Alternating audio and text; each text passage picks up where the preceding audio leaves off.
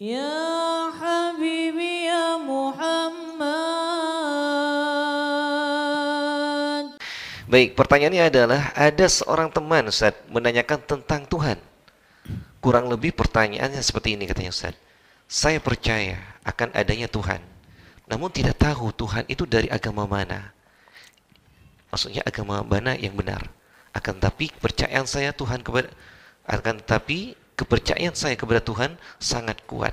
Apakah hal tersebut tidak apa-apa katanya Ustaz? Dari pertanyaannya, Tuhan dari agama mana yang benar? Nah, Ini menunjukkan ada syak, ada keraguan di hati si orang tadi tentang kebenaran agama Allah yang diridhoi yaitu Islam. nah, Dan keraguan ini adalah sesuatu yang paling berbahaya. Kalau enggak cepat diobati akan membuat salbul iman. Imannya akan dicabut oleh Allah dan mati su'ul khatimah. Ini bukan hal yang kecil. Ini hal yang sangat menakutkan. Seorang mukmin Seorang muslim arti daripada iman dia yakin tidak ada keraguan lagi la ilaha illallah. Tidak ada Tuhan yang pantas disembah. Tidak ada Tuhan yang pantas kita taati. Tidak ada Tuhan yang pantas untuk kita memohon. Tidak ada Tuhan yang menciptakan segala sesuatu illallah kecuali Allah. Hanya Allah Tuhan. Selain Allah bukan Tuhan. Itu arti iman. Dari mana kita yakin? Dari utusan Allah.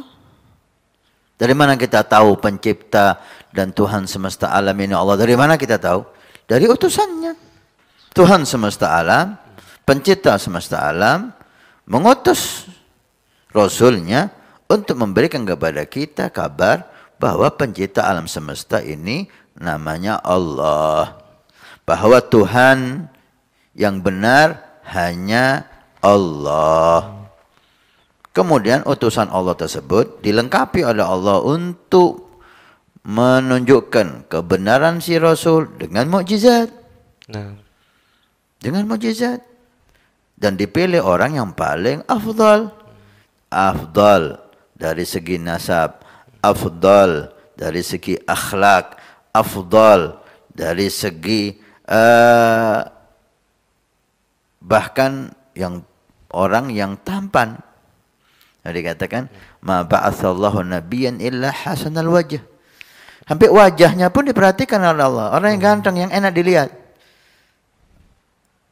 Lah, Allah mengutus Rasulnya yang mempunyai sifat seperti itu dan diberi oleh Allah mukjizat sehingga tidak ada alasan untuk kita enggak percaya dia utusan Allah memberi kabar bahwa Tuhan adalah Allah. Dan seorang mukmin beriman la ilaha illallah.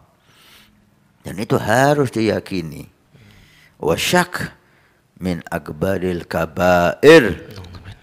Ragu atas Allah itu dosa yang sangat besar dari dosa-dosa besar. Cepat diobati, cepat diperkuat iman, ya. cepat uh, diperbaiki sebelum datang ajal naudzubillah. Naam.